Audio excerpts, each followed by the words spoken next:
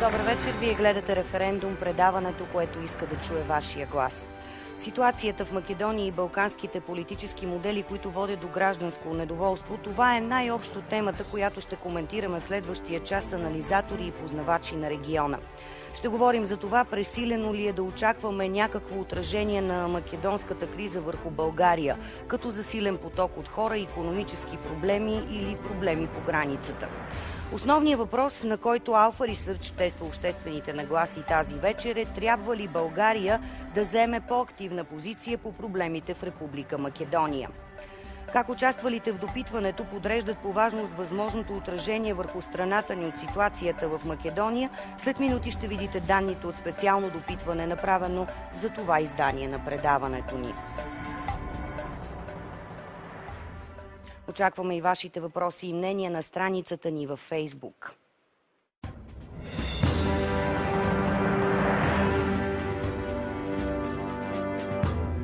Ето кои са гостите в дискусията тази вечер. Добър вечер на професор Яни Милчаков, преподавател по балканистика в Софийския университет, бивш посланник в Югославия, в Словакия, в Полша, международен експерт на ОССЕ в Сърбия, Косово и Украина. Здравейте! Здравейте. Наум Кайчев, преподавател по история в Софийския университет. Здравейте, бивш генерален консул в Битоля. Радваме се, че и вие сте на тук. всички зрители.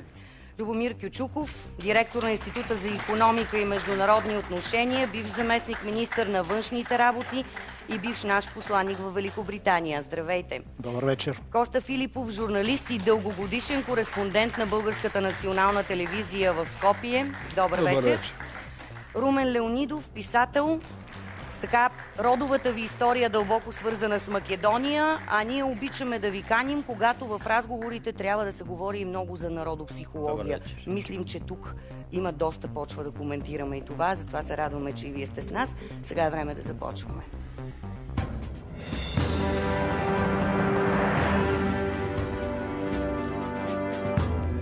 Днешното предаване от този тип дискусии, в които може да се каже, че се дава равен старт на двете тези по основния въпрос. Нека да видим това. Трябва ли България да вземе по-активна позиция по проблемите в Република Македония?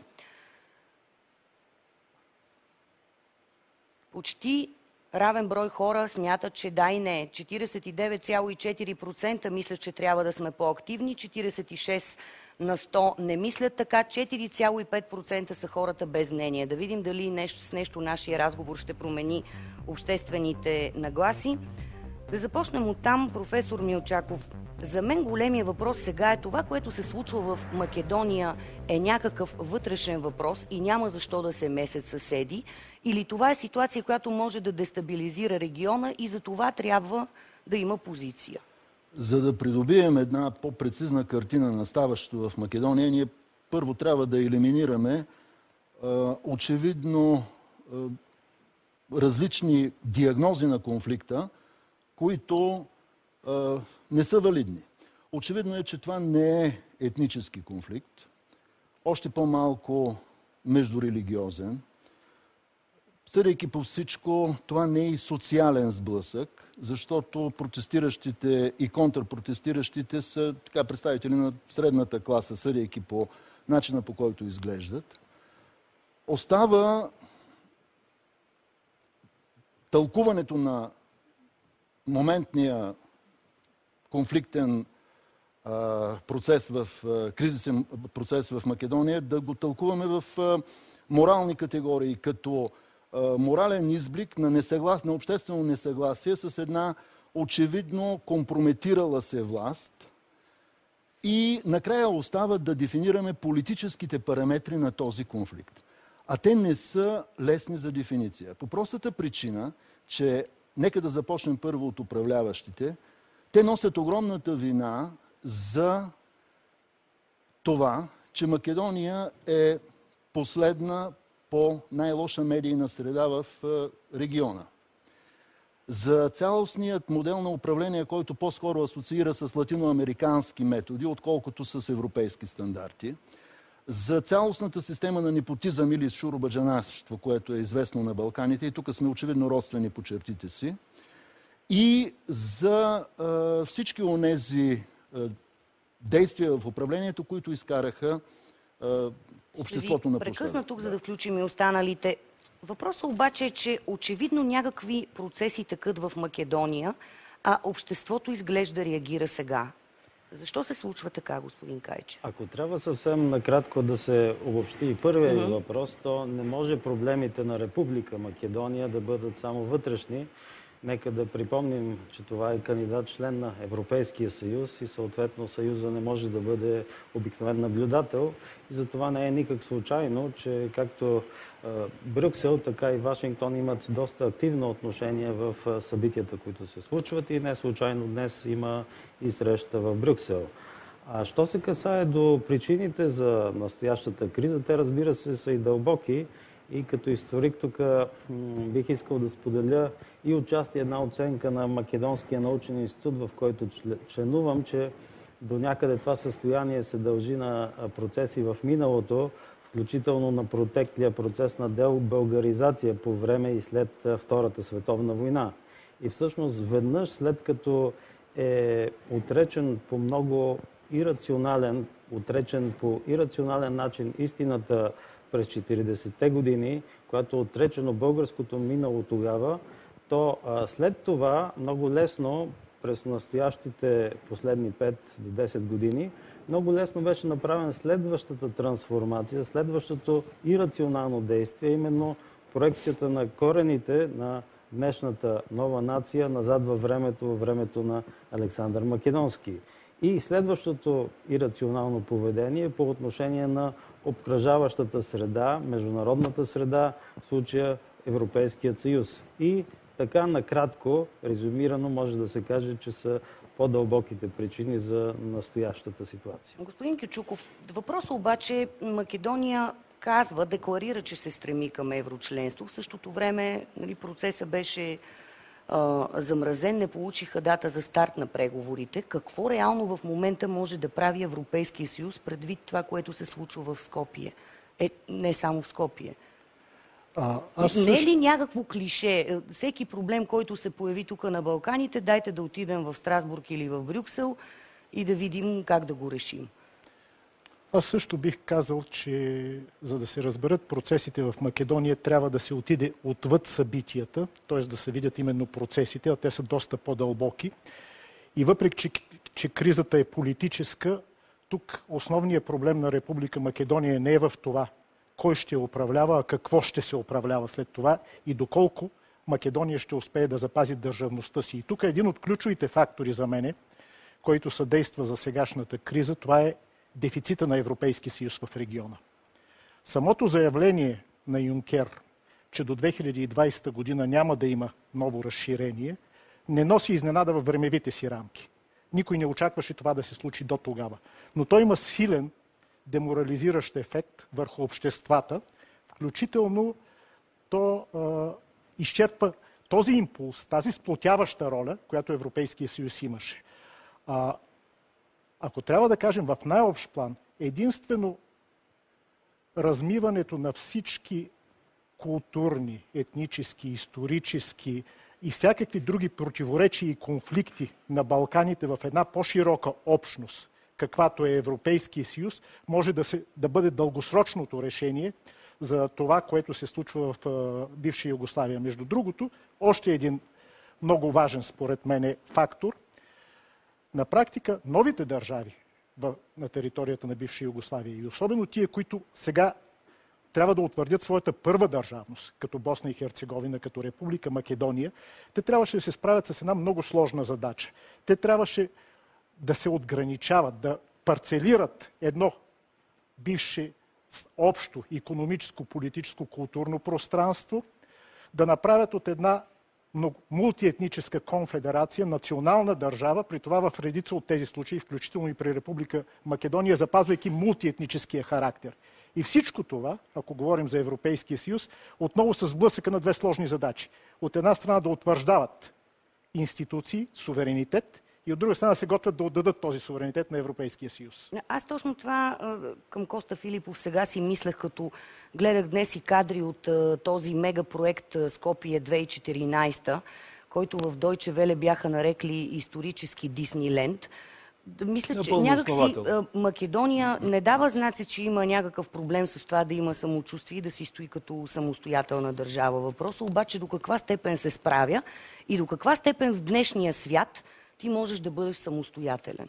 Напротив, мисля, че македонците имат много сериозни комплекси на тема величие, на тема слава и на тема е, историческо, славно историческо минало.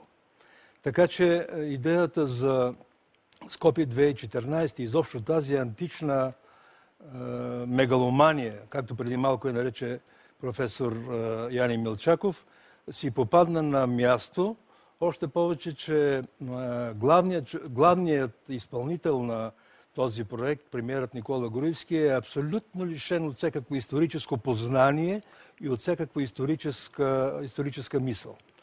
Той стана лидер на историческото ВМРО, да помене, през 2003 година, без да има абсолютно никаква представа за историята, съдържанието, борбите на ВМРО на македонските българи за национално освобождение.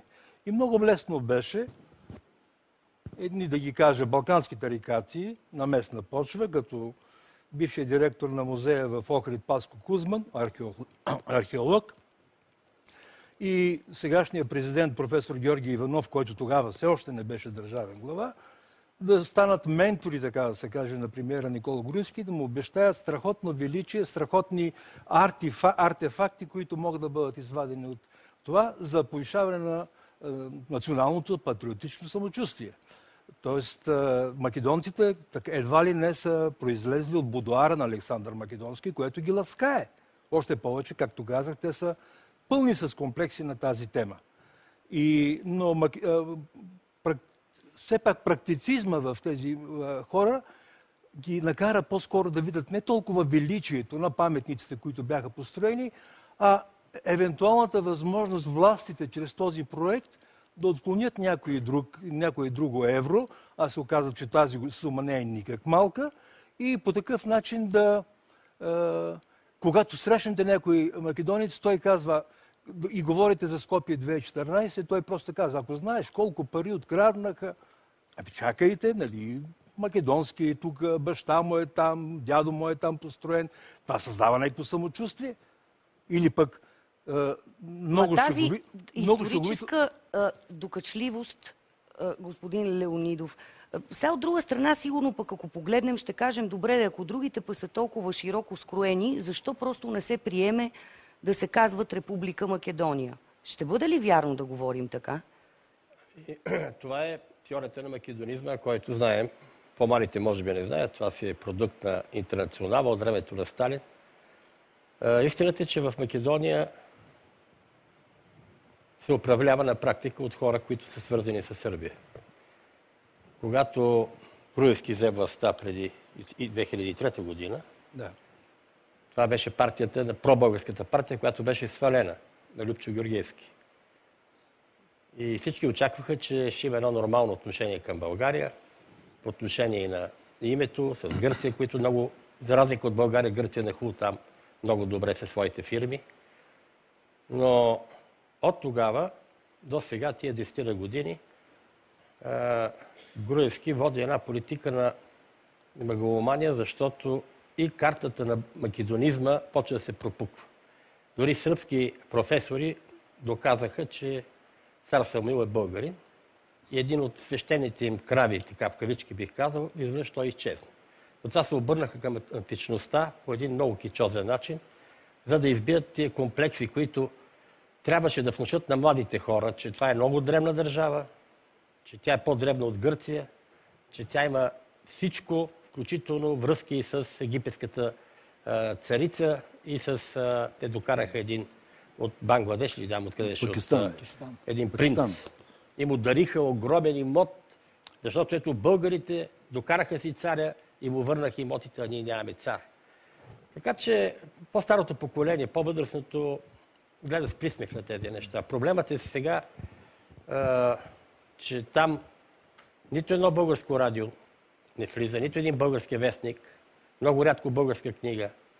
Ние сме загубили тези културни връзки. Обаче май се гледат Иначе български телевизии, поети. така ли? И ние гостуваме там. Но а, Груевски обърна изцяло вече посоката отново към Сърбия, общи празници, което няма да, нищо обаче- лошо. А докато се налага ние да празнуваме заедно Гоце Делчев или 24 май, най-много равнище академии и нищо повече. А, професор Милчаков, обаче ние говорим тук за история и за елемент на грандоманщина. В същото време в, наш, в наш зрител пише е, да, да, обаче вашата управия не е това, което искаме. Дребен факт е, че минималната работна заплата в Македония е по-голяма от българската 200 евро. И с пенсиите са по-добре. Ами, социалната политика на Македония е работа на македонското правителство и на македонската, може би, данъчна система, която осигурява някакво разпределение, което е в състояние да осигури тази заплата, която е действително... Аз бих желал да, да взема отношение показаното и от колегите, особено от Румен Леонидов. Ние трябва да си даваме сметка с дълбоката менталитетна криза на това общество, което е принудено да живее между една митологична представа за едно минало и една неслучила се утопия на югославенизма. В крайна сметка, ако погледнем съдбата на постюгославските републики, ние ще установим много ясна зависимост между просперитета, напредъка в европейската интеграция, модернизацията на обществата економиките, оздравяването на националните травми от, от кървавия конфликт, в, в зависимост от това до каква степен дадената република е скъсала с утопията на, на югославизма. Пример Словения, Харватска. Страните, републиките, които менталитетно не са скъсали с химерата, с утопията на югославизма, са Босна и Херцеговина и Македония. Защото а, причините, поради които югославската идея има най-голям соци, социологически представителен разрез в тези общества, са много дълбоки и няма да ги коментираме. Да, Но- нека да бъдем по-кратки в коментарите. Коста Филипов, добре ли се живее в Македония? Просто съм провокирана от това, което виждам. Не, че искам да развенчаваме, ако хората живеят добре. Но а, точно преди да влезем, понеже си харесах реакцията ви на този въпрос, ще го задам тук, никой от вас не ми отговори. Кое ядосва в момента повече македонците? Това, че премиера си е поръчал а, последен модел с всички екстри лимузина за някаква баснословна сума, това излезе в а, записи, или това, че той се е съгласил а, да се наричат Горна Македония. Кое Една- няма да простят на български? Една от а, първите максими, които научих, когато започнах работа в Македония като кореспондент през далечната 93-та година, а, беше а, пак остатък от югославското време, който гласеше докато си на функция, гледай колкото може да откраднеш повече. Тоест това е част от... Значи, докато си на някаква отговорна длъжност, ако имаш възможност... българския менталитет. А, да, ако имаш възможност, вземим нещо. Което ми се... Това е масово разпространено в мисленето на хората, което ме кара да мисля, че не биха се разсърдали на Никола Груевски толкова, че си е купил този супер Мерцедес, както в един от послушаните разговори вътрешната министърка казваше на шефа на тайните служби и първи братовчет на Никола Груевски Сашо Мялков, супер е, такава кола в Македония Чудо. няма. Чудо, фантазия. Това, т.е. това е чувство на гордост, крайна сметка, че техният премиер има такава скъпа а, кола с безкрайно много екстри. Що се отнася до името, това Ма е много тук тема, но там по-скоро мо- могат да го приемат. Гледам, че и доста кметове в България така с чувство на гордост добре, добре живеят. Ако аз обичам да казвам, че ако има пет причини, поради които ние можем да се съмняваме, че сме едни и същи с македонците, има други 95 причини, които показват, че сме абсолютно Да, първият български социолог Александър Люсканов казва Българинът и гърка си приличат по това, че държавната пара им е най-сладка. Следователно, македонците между българи и гърци, очевидно родството им по този начин се потвърждава. Но на въпроса, живее ли се добре в Македония? Според мен се живее добре как да кажа, както в ония прословут арменски вид, който си има, ще си има, който си няма, няма да си има. Но във всеки случай, по време на македонския преход от 1991 година насам, македонците не са изпитвали нито за момент чувство на глад, какъвто имаше примерно в зимите на Луканов в България. Румен Леон... Заповядайте след това Румен Леонидов и господин Кичуков. Минете по който е главен път в Република Македония и ще видите, че той е полупразен. Сравнете го с а, някои съседни държави и ще видите разликата в жизненото равнище. Наистина, а, днешния живот там има своята обратна страна. Една безработица достигаща близо 30%, доста ниски заплати и така нататък. Но от друга страна, материалната слабост, която се изразява и в засилената иммиграция извън страната, включително и в съседството, има и своята малко по-различна страна, а именно жителите на Република Македония са малко по-весели от тези в Република България. Тоест, въпреки по-слабия е жизнен стандарт... Това е сръбското влияние. Не, Точно. не, Не, не, не, дали не, е не. сръбското, дали е друго. все пак юг. Не, трябва да признаем, че в това отношение, да кажем, има известни, малко по-весела усмивка, която може да видите в е Скопие. В Скопие има повече усмивки, отколкото в София сред обикновения човек, но не се живее по-добре. Румен Леонидов и след това господин Кючуков. Аз гледам на македонците като мои братя и сестри и това дали тебе признават за брат или за, за родственик, за, е очудващо, но това не ми пречи. По-големия винаги прави отстъпка, по-умния винаги прави жест. Македонците дълго време гледаха на нас, както ние гледахме на Русия. И колко сте големи колко сте велики, езикът ви е стар, един мой приятел поет вика, аз познавам всичките македонски пъти през първия. И този, и този, и реалисти, и романтици, и абсурдисти, и постмодернисти, всичко в един живот.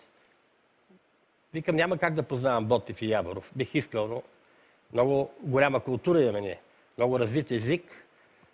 Това, че Македония днеска живеят по-бедно, макар и с малко по-високи сигурно заплати, е, че там не се извърши по съветския модел приватизацията както у нас. Не една, две, ми, и предстои отново да имаме такива зими и тежки моменти.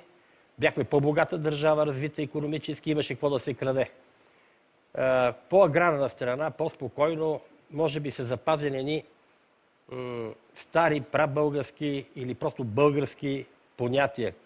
Шотската салата е огромна, ракията е чиста, виното е истинско, хляба е душа и тези моабети, както казвате, това е ритуала, ритуала, който аз помня от моето детство 60-те години.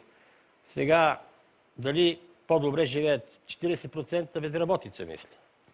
Живеят на село Официално много. около 30 на 100, както каза и господин Кайчев, но иначе сериозен неформално е много по-голяма. Но черната економика много поглъща. Черната економика сигурно. Там сигурно има също свои олигарси малки или малки мутрички. Всичко е там по-малко. Би той Груевски е също сколкото един кмет на София. София е 2 милиона, Македония, с Македония албанците е са толкова. Господин Кючуков, тази идилична а, картина, която така поетично господин Леонидов ни предаде сега, а, романтична, кой иска да я развали? Кой има интерес от конфликта в Македония? Откровенно казано, аз е, бих казал, че нещата са доста по-дълбоки и доста по-проблемни. Моделът Груевски, той може да се охарактеризира, особено в периода на късния Груевски, т.е. последните години, с концентрация на власт и ерозия на влияние. Постепенно той почна да се изчерпва и основното, освен всички тези и социални и политически проблеми, за които тук стана дума, е липсата на хоризонт за македонското общество като цяло. Липсата, чувството за изолация, постепенното а, чувство за затъване, което има в цялото общество, което а, търси изход. И не случайно, между другото, връщайки се отново на Европейския съюз, а, албанските партии казаха, че ако не се намери решение за името в най-близко време и Европа, и Македония, Република Македония не поеме своя ясен път към Европейския съюз и евроатлантическата интеграция, те са склонни да преразглеждат своите позиции. Мнение на наш зрител, само секунда, защото доста въпроси се трупат. Очевидно е, че има външна намеса, свързана с проекта Руски поток, смяна на правителството, отказване от проекта. Всичко, което се случва в Македония, зависи какво се договорят Съединените щати и Русия. Фиксирани ли сме на тази тема? Коста Филипов. Имах повод да кажа тези дни, че е, лично аз не виждам никаква връзка между идеята за прокарване, минаване на тръба от Турски поток през Македония с е, протестите, които станаха, се случиха в, е, сега в последните няколко седмици. Първо, защото е, протестите вече бяха започнали, макар че ние не обърнахме достатъчно внимание, още преди 3-4 месеца, идеята за турски поток възникна в последните, да кажем, 20 на дни, дека да кажем месец. Тоест, във времето протестите си изпреварват. Тоест, проблемът вътрешните, които са принудили най-напред македонските студенти да излязат на улицата, изпреварват много във времето идеята за турски поток. Второ, до сега, през всичките години на независима и суверенна република Македония, властите в Македония и обикновените хора са много били огорчени масово. Цялото общество е страдало от това, че всичките енергийни проекти, транспортни проекти, които минават през Балканите, заобикалят Македония. Македонците живееха с едно усещане, че са някаква черна дупка, въпреки че имат самочувствието, че лежат на е, митичната Вардарска долина – което е най-прекия път между Западна Европа и топлите морета. Тоест би било логично, ако нещо, някакви тръби се прекарват през някъде, те да минават, на Балканите, те да минават през Република Македония. И сега изведнъж се хванаха като, как, като последна надежда, че може би, евентуално, някаква тръба от турски поток да мине през, от Гърция, през Македония, нагоре за Сърбия и за Западна Европа. Друг е въпросът колко този проект ще стане, доколкото е реален, доколко е ефективен.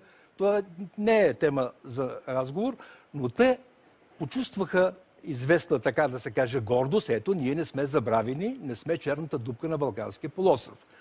Друг е въпросът, че пак казвам, според мен, основният проблем, основният проблем на македонците, който сега а, стигна до непоносимост в своето изражение е, да го кажа, сбъркания преход, сбъркана традиция, е, транзиция в Република Македония от 1991 година насам.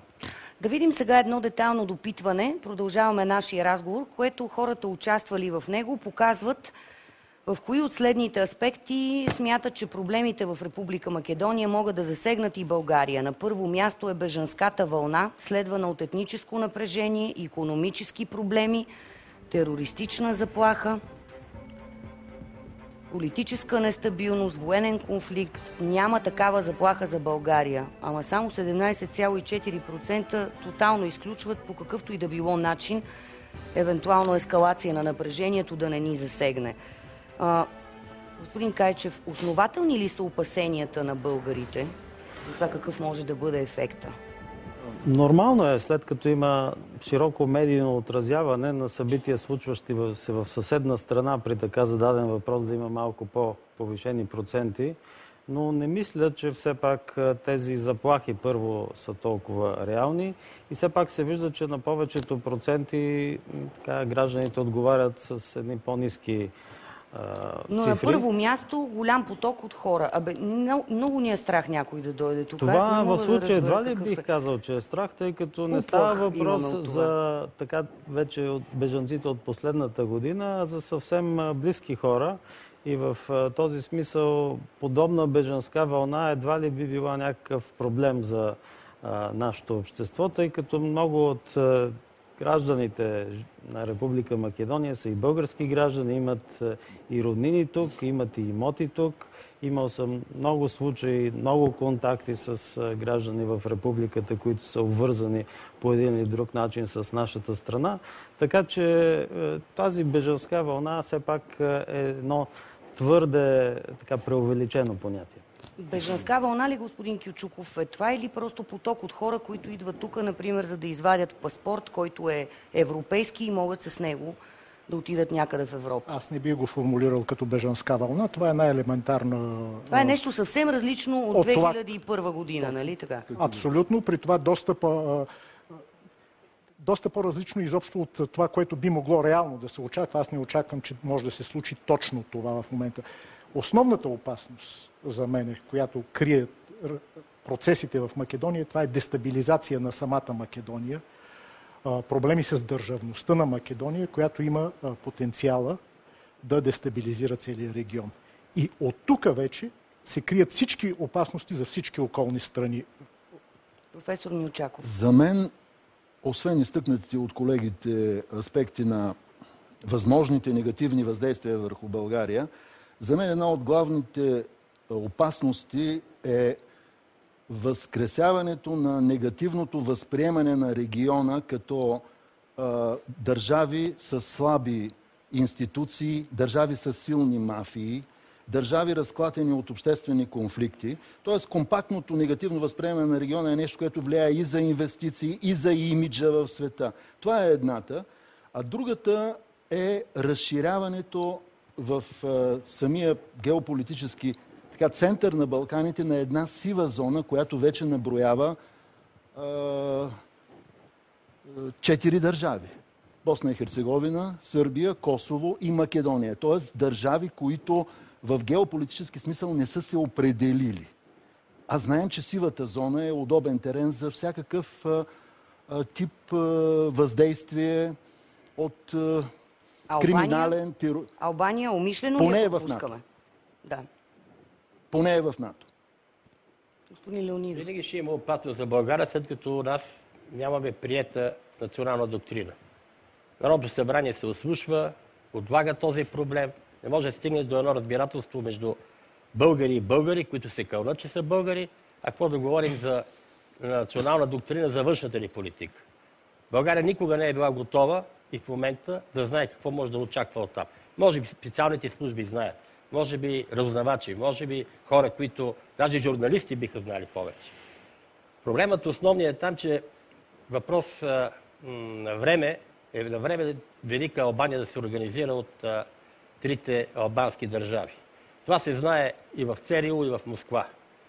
И ясна позицията на Москва, чрез турския поток, да хване в своите економически зависимости Македония и Сърбия. Двете страни, които до сега действат абсолютно в полза на Москва. Не е ясно обаче западните страни какво мислят и дали въобще мислят. И когато стана войната вече в, в, Унга, в Украина, нещата опират до економически врътки, които трябва да се правят. Защо им бяха на руснаците да правят АЕЦ Козлодой? Нито ток им трябва, нито този ток има къде да се изнася. Единствено за Турция вече те си имат атомни електроцентрали, а за Македония и Сърбия, евентуално този район и да отиде този, този вид нов зависимост, не военен, а економически, е равносилен на, на, на военната доктрина на великите сили. Така че това, което става, аз не съм съгласен с моя приятел, че няма никакво значение. Има. Не се знае обаче какво става. Тази партия, която е на власт в, в Македония, тя е член на на консервативната партия Европейската, в Европейската съюз. Ще дойдат на власт социалистите, които са още по-големи приятели на Русия и нашия премьер, биш премьер, отиде там и произнесе реч на английски. Срам и позор, с пореден път за политик от неговото равнище. И това е с македонски корени, както се казва, защото не знам дали знаете, България ние, които сме деца на преселници от там, сме към 2 милиона и половина, 3 Тоест, при 6 милиона българи, това е почти половината. И нямаме един европейски политик, шеф на най-голямата европейска, една от големите европейски партии, отива там и не знае как да говори. Какво да им каже? Недопустимо е това, недопустимо е. Имаше ли обращение, братя българи? Няма такова нещо. А братя македонци? Имаше ли обращение? че братя българи, не знам как Имаше ще се възприеме. братя и сестри в крайна сметка, доколкото знам в финала на обращението. Един студено поднесен коктейл на дипломатическо отвратително питие, което тези македонци някои развявали българското знаме. човека, който ще идва на вас евентуално, аз не съм сигурен, също казва. Тук сме събрани цигани, турци, Власи. македонци, сърби, босненци, власи. Думата българи няма. А там има 160 хиляди души с български паспорти. Коста Филипов. Тоест продължава тази да, просто сега ще политика. включиме останалите. Чух една цифра, която трябва да асимилирам. 160 хиляди български паспорти. Нашия премьер официално каза 90 хиляди човека са с български паспорти и други, да кажем, институционални мъже 60. повториха тази цифра. Колко така. А, а, добре. Хич не ми е приятно да, да го кажа, но след като си член на Европейския съюз и на НАТО, след като си държава в, по отношение на Македония вече в, от 8 години в друго качество, по-високо качество, след като имаш ангажимента да показваш на братята македонци какъв е европейския стандарт, какъв е европейския път, какво трябва да направят, за да станат и те европейци като нас, как да, как да се сърдиш на Зоран Заев, който е човек с, според мене, с не до там толкова богата политическа култура. Альтернатива ли е всъщност Зоран Заев на управлението на Груевски? Не, а, те, това, което се случва, за което го обвиняват сега Груевски, всички единогласно, не е само негова привилегия, не е само негова заслуга, не е само негова практика. Че тези, Зоран Заев, неговата партия, Социал-демократическия съюз на, на Македония, това са бившите съюза на комунистите в Македония. Това са тези, които от началото, от 1991 година, когато Македония стана независима държава, пречат да се отвори страницата на югославския период на Точно, Македония. да. Никак, никакъв опит и всеки опит, който да е мал, вербално нека да се каже нещо, веднага се контрира. Това е тема табу, както и митологизацията на техното смешно партизанско движение. Господин Заев е млад човек, но разбира се носи наследството на стария режим до някъде. Аз съм имал възможност да контактувам с него в качеството му на кмет на Струмица и трябва да кажа, че той е един от кметовете, с които по-трудно, да не кажа от най-трудно се работеше. И в този, тази смисъл не може да има някакви свръхочаквания, но все пак, наблюдавайки еволюцията му в последните години, и най-вече тази привързаност към европейските ценности, които изказва неговата партия, това, че се стреми да приобщи различни елементи от гражданското общество, които участваха в неговия опозиционен митинг, това, че там присъстваха и беше подкрепен включително от организация на българите в Република Македония, Български културен клуб Скопие, все пак дава основание да виждаме някакви идеи за по-голям оптимизъм. каква трябва да бъде политиката на България сега? Трябва ли по някакъв специален начин ние в този момент да, как да кажа, да дефинираме по-ясно, искаме да помогнем, това, което каза Коста Филипов, още повече за пътя към евроинтеграцията, или по-скоро искаме македонците да се замислят над допуснати грешки. Аз някак си така тълкувам политическата позиция на България. Ние тук ги окоръжаваме и казваме, че сме с тях.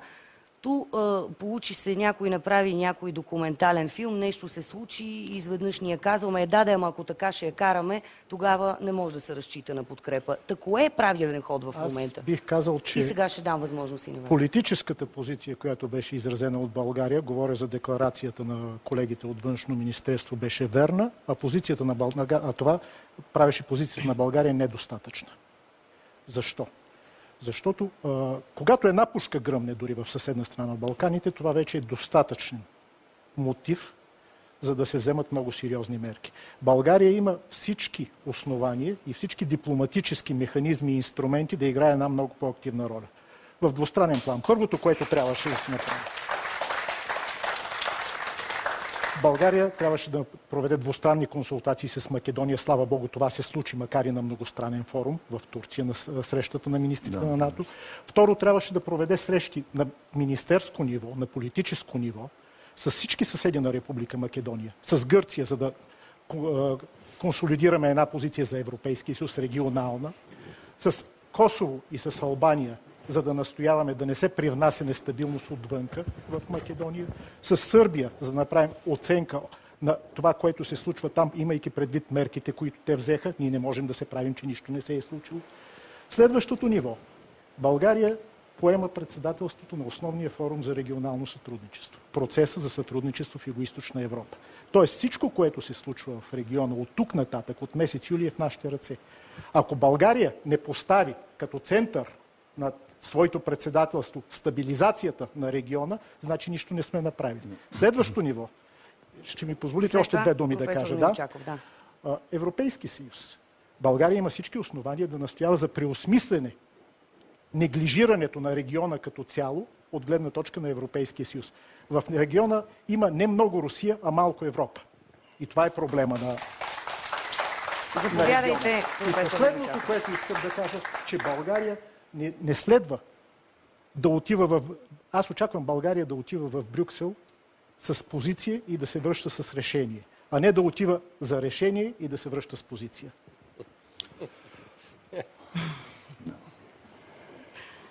Заповядайте, професор Милчаков. Първо, за да имаме активна Добре позиция... казано, няколко сентенции в тези изречения, последни ваши. Сентенциозно звучат. А, Първо, за да имаме позиция, тя трябва да бъде основана на един много добре инвентаризиран комплект аргументи, които да действат в полза на българската кауза.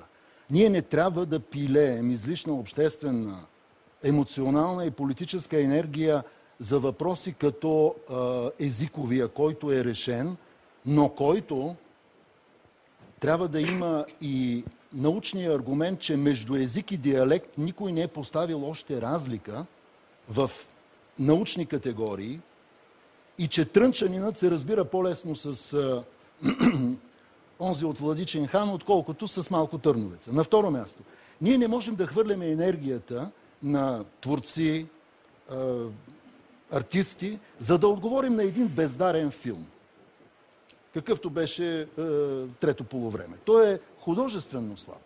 Да не говорим за исторически. Ние можем да бъдем е, полезни и на Македония, и на Балканите, първо с много изстрадалия си опит в е, евроинтеграцията.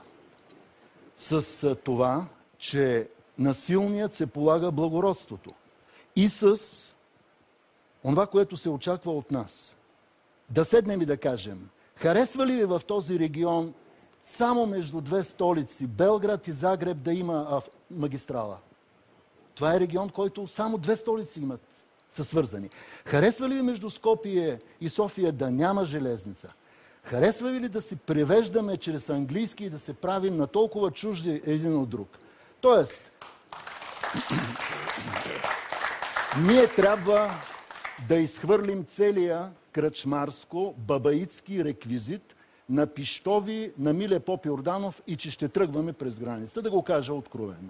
Съответно, и хората в Скопие трябва да изхвърлят същите тези, същите тези бутафории в музея на 19 век, защото в 21 век се влиза с модерна мисъл, с гражданско общество и се влиза с компютъра, а не с кандилото. Румен Леонидов и Коста Филипов. Благодаря ви. Благодаря. Естествено, че Македония трябва да влезне в Европейския съюз, но ние трябва да внимаваме много нашите политици на кого ще, обслужат, кой е интерес на олигарсите и политическите маймуни, които 25 години казват, ние сме една дума не сме казали срещу България, но правят всичко възможно пропагандата да върви срещу нас и ние дълго време стояхме и се правихме, че не виждаме. Като казвам, че по-силният отстъпване, значи, че ние трябва да отстъпим от едно основно нещо. И да се, много трябва ясно да звучи това. Те го използват това, че се обратен ефект, че пътя на Скопия, на Белград към, към Брюксел минават през София. И понеже минават, ние трябва да използваме много внимателно, дипломатично, цивилизовано, по-европейски, новите ситуации, които са. Това, че а, те се плашат, че България ще сложи вето, се използва от сегашните и бъдещите управници, до предишните, Те казват и българите ще ни сложат крак. Нека да признаят поне едно нещо, че там има българско мълцинство, което е смешно. Аз го наричам мълцинство. Нека да имат право българите да се объединяват и да направят своя партия. Нека да направят преброяването сега, което го отлага толкова години. И в рубриката различни на, на, националности сложат и българи. Нека да пребрат българите. Сигурно голяма част ще се оплашат. Сигурно голяма част ще се образят, че ще ги уволнат. Но нека да видим колко са българите поне статистически и колкото са, след като ще изповядват гражданските права, правата на словото, там няма български вестник. Няма, както казах, нито една българска телевизия. Или Сега пробългарска Има телевизия. БНТ. Да, но? Вече. А, вече има. Това е но новина. сега като ви слушам и се чудя, от политиците ли трябва да започне това или, или може да се случи, вие казахте, ето, пътувате, ходите често там, ваши колеги идват тук, творци. А, аз знам, че на 6 май там традиционно ам, има в Ново село една церемония е за в, гробищата. на гробищата Да, да. на Фундация Българска памет. Знам, че тази година там бяха наистина представители военни, и македонци, и гърци, и българи са били заедно. Служила се е служба от е, български свещеники, македонски. Може ли по този начин да го търсим или трябва някаква ясно дефинирана държавна позиция и равни с по нея? Коста Филипов. А, Първо да кажа това, кое, да отговоря на Румен, което за неговото настояване да има в е, анкетния лист за евентуалното бъдещо преброяване и българи. Той по-неизпълним критерий от тези за еврочленство. Не, не, не, няма да стане. Казвам ви го, че няма да стане. Докато в преамбюла на Македонската конституция не бъде записано, че в Македония живеят и българи, както там е записано, че живеят турци, власи, роми, боснинци, албанци и македонци, И власт. Никой, и власи, да. Никой няма да запише в...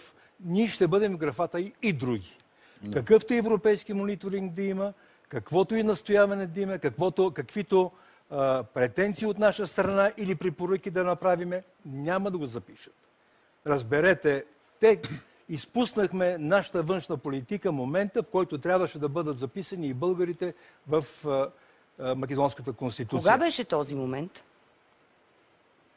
Когато, примерно, ето казвам ви, когато, примерно, Борис Трайковски беше президент на Република Македония, покойния, лека му пръст.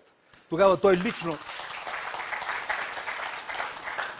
човек с искрено пробългарско чувство, роден в Македония, знаеше границата между това да бъде македонски е, гражданин и президент на всички македонски граждани и да не си крие чувствата към България. Той вкара боснинците, те до тогава не бяха в прием. Пък беше протестантен. А? Беше протестант, което е... Да, да, той беше да, по религия, религия протестант, което му, пък му създаваше връзки в Америка Именно, и така, ми както и да е. Но а, той вкара боснинците в преамбюла. И аз не знам кога ще стане тази толкова добросъседска атмосфера, в която ние наистина да имаме право да се запишем. 2002 година, Румене, преброяването, последното, което е правено в Македония. Некъде около 7000 човека бяха тези други. Ами аз съм говорил с изявени българи, които се писаха, се писаха македонци. Някои се писаха дори югославяни. Само и само да не се пишат българи. Чакайте бе хора, като седнем на маса и почнем да говорим, вие какви сте? Еми, ние сме българи, баща ми, майка ми, дядо ми, ние сме родово така. Тогава, що се писахте югославяни? Що се писахте македонци? Ами нали знаеш тук страх, страх, да. 2002 година. Това не е чак толкова далече. Господин Кайчев, и вашите изречения Като за ли- българската реакция, позиция, да? До сега като че ли се оформя тъжен извод, че има много пропуснати възможности през тези 25 години и повече, включително и по война на нас, на Република България. Това, за съжаление, е така. Но трябва в бъдеще, наистина, ако се придържаме към анонса и заглавието на нашия диалог, нашата страна да има по-активно отношение към Република Македония. Това не е само най-романтичната част от нашата история, както каза един наш бивш президент, но това е една съседна страна, с която имаме много близки економически и културни отношения, която е потенциал за близко развитие. И в тази връзка, разбира се, разковничеството на преодоляването на Трудният диалог, който съществува в момента е споразумението с отсрещната страна, с нашите съседи в Република Македония, че имаме една обща история до един определен в миналото. И именно така ще преодолеем най-трудните и най-деликатни моменти към европеизирането на тази част от Юго-Источна Европа. Нашите зрители се интересуват дали може да се стигне до оставка на Груевски и може ли без конфликт да дойде промяната? Как ви се струва, като гледате какви са настроенията сега? Аз не идеализирам, без да подценявам волята на обществото за промяна, аз не идеализирам и Социал-демократическия съюз. Защото ако управляващите... Който вади компромат след компромат. Да, Май ако управляващите носят онази отговорност, за която споменахме, то социал-демократите първо а, носят а, и дължат на македонското общество много тежък отговор на въпроса а, как лидер на политическа партия си служи с методи, които ги знаем от филмите за 007. Това е единият въпрос. А вторият. Ще послужа с една аналогия. Малко ще бъда остър. 60-те години огромен проект трябва да установи в политически категории леви или десни са кремълските номенклатурни олигарси. И хората се хващат за главата. Сега от една страна ляво, братство, равенство, от друга страна привилегии, които ги няма и абсолютния монарх. И тогава спорът се прекратява с репликата. Те не са нито леви, не са нито десни. Те са просто от Москва. В случая с, с управляващи опозиция в, този им, в тази им констелация или конфигурация, както се казва, аз казвам, перифразирайки този известен политически анекдот, те не са нито леви, нито десни. Те не са нито прозападни, нито произточни. Те са просто от Съюза на югославските комунисти и наследници на онази твърде корумпирана олигархична а, технократска в кавички каста, която се оформи при разпада на Югославия. Следователно, обновлението предполага нов политически елит и да се надяваме, че поне просветлението, което ще получат и двете страни от този сблъсък, ще роди този, този елит и възможността за някакъв диалог и възможно преходно правителство, което да, така, да отразява максимума на обществените очаквания. Богомир Кючуков. Ситуацията в, Македония в, вас, да, да. ситуацията в Македония в момента е такава, че по-скоро става дума за това не кой да управлява, а кой да не управлява. Настроенията mm. там са антигруевски, което само по себе си не носи оптимизъм.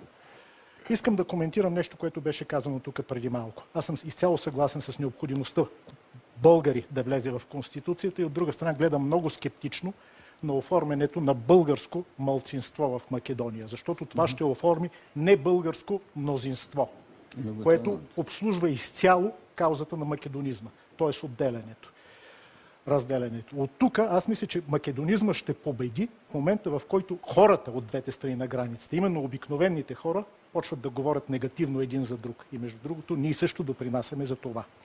И последно, като човек, който заедно с колегите от дирекцията във външно министерство, която последствие беше закрита и с посолството в Скопие, инициирахме оформихме текста и връчихме проекта за договор за добросъседство още през декември 2008 година, бих искал да кажа, че този договор до голяма степен, за съжаление, се превърна от инструмент в цел.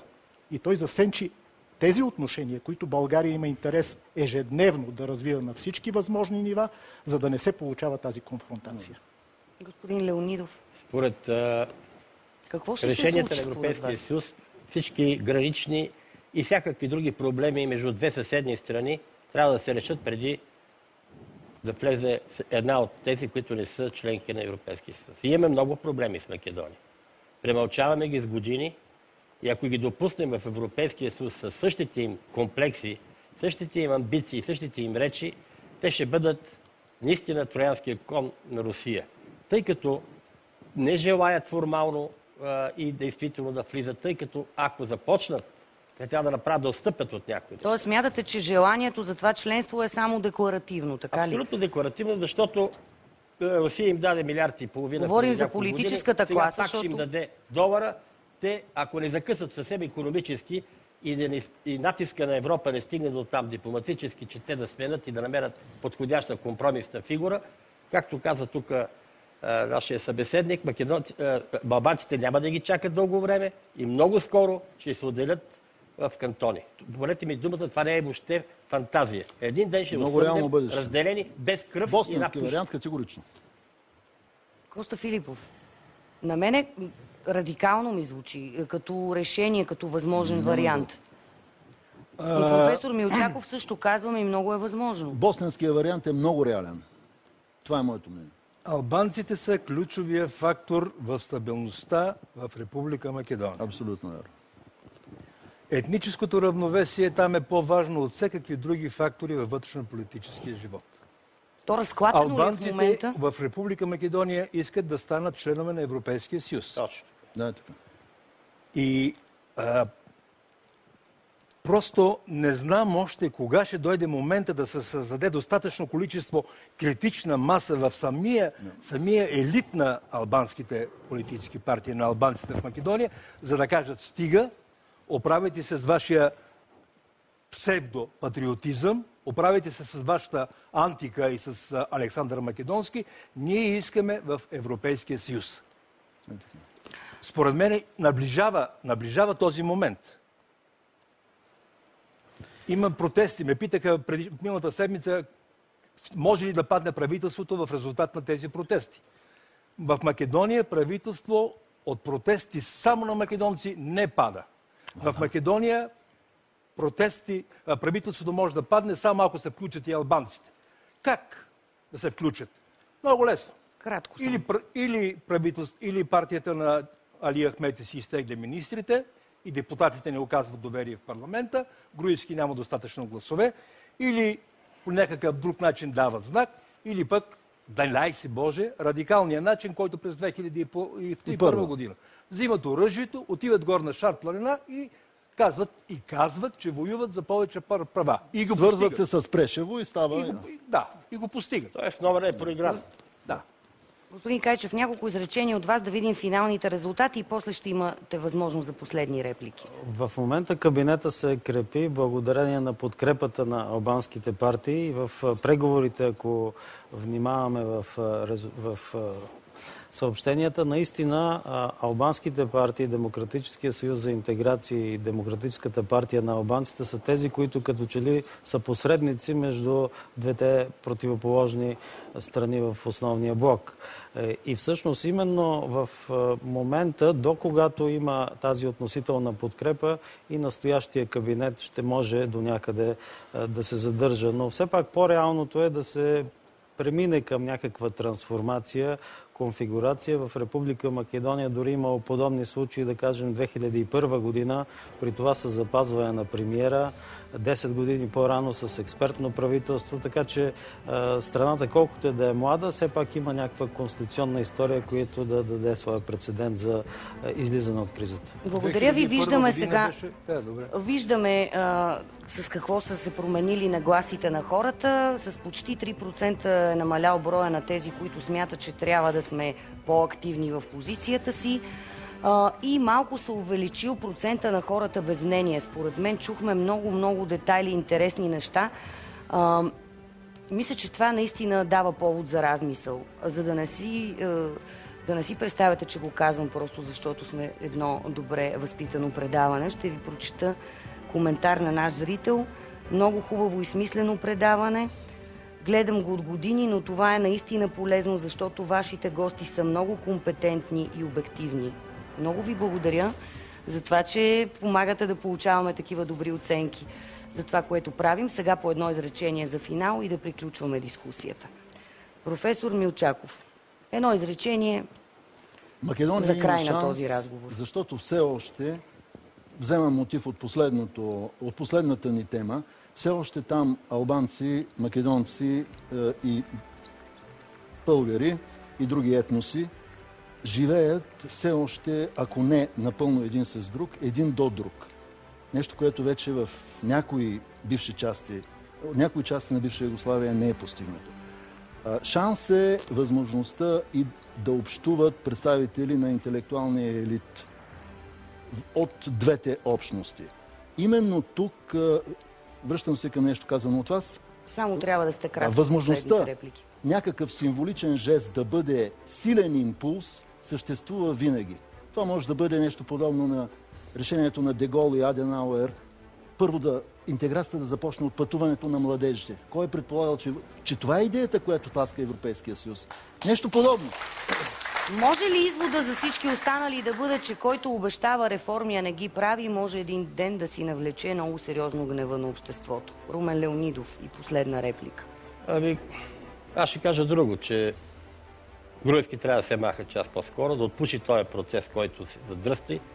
Политически организъм на Македония да почне да диша с едно преходно правителство и нови избори, защото така или че тази изолация на Македония е факт. Дори я наричат, че това е Северната Корея на Балканите. Защо? Не е толкова силно като диктатура, макар че има там много силна, и прокуратура, и полиция са в неговите ръце. Този шуробаджарайски момент, този роднински момент, който а, няма нищо общо с Европейския съюз, колкото и той да се прави на консерватор, няма как да мине. Благодаря ви. Любомир Чучуков. Националният интерес на България изисква укрепване държавността на Македония. Разпада на Македония може да зри Балканите. Благодаря ви много. Кратко и съвсем ясно това като послание. Наум Кайчев, последната ви реплика. Също се присъединявам към мнението, че бъдещето на Република Македония е в Европейския съюз и това е нашият национален интерес. Благодаря ви. Преди да влезем в студиото, попитах Коста Филипов какво се случва в Страсбург. Казахте, че сега преди малко беше започнала срещата между Груевски и Заев в Страсбург с посредничеството на Европарламента, на Европейския съюз, среща с Йоханес Хан. Ще има ли някакви новини? Как мислите? Може би ще има новини, но това потвърждава още веднъж, как да кажа, ниското ниво на политическия живот в Република Македония, що ме докарано до там, при всеки един малко по-сериозен конфликт да се търси помощта на чужите посланници, на европейските институции и така нататък.